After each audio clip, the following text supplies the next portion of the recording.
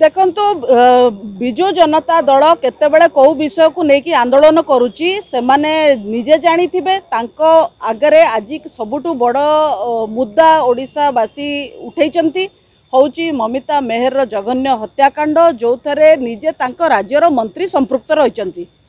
ମହାଙ୍ଗା triple ମର୍ଡରରେ ତାଙ୍କ ରାଜ୍ୟର ମନ୍ତ୍ରୀ ସମ୍ପୃକ୍ତ ଥିଲେ।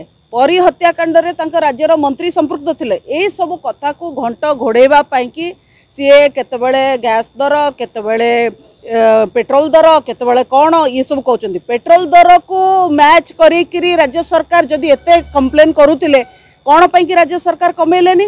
ମାତ୍ର ଦୁଇ ଟଙ୍କା ତିନି ଟଙ୍କା କମେଇଲେ ଯେତେବେଳେ ଅନ୍ୟ ରାଜ୍ୟର ବାର ଟଙ୍କା ପନ୍ଦର ଟଙ୍କା କମୁଛି ଓଡ଼ିଶା ସରକାର କ'ଣ ପାଇଁ କମେଇଲେନି? ଯଦି ଏତେ ଦର ଥିଲା ତାଙ୍କର ପେଟ୍ରୋଲ ଦର ପ୍ରତି। ତ ଇଏ କେବଳ ନିର୍ବାଚନୀ ଏ, ଧୂଆଁବାଣ ତାଙ୍କର ଯେହେତୁ ପଞ୍ଚାୟତ ନିର୍ବାଚନ ପାଖେଇ ଆସୁଛି। ଆଉ ଦ୍ୱିତୀୟ କଥା ଭାରତୀୟ ଜନତା ପାର୍ଟି ଲୋକଙ୍କ ସହିତ ରାଜରାସ୍ତାରେ ଠିଆ ହେବା ହେତୁ ବିଜୁ ଜନତା ଦଳ ଗୋଟେ ବାହାନା ଖୋଜୁଛି ଯାଇକି ପ୍ରତିବାଦ କରିବା ପାଇଁକି କିନ୍ତୁ ମୂଳ ବିଷୟ ମୁଁ ଯେଉଁଟା ଆପଣଙ୍କୁ କହିଲି ରାଜ୍ୟ ସରକାର ତୁରନ୍ତ ବିଜୁଳି ବିଲ୍ କମ୍ କରନ୍ତୁ ଘରେ ଘରେ ଲୋକେ ହିଟର ଜଳେଇକି ରୋଷେଇ ମଧ୍ୟ କରିପାରିବେ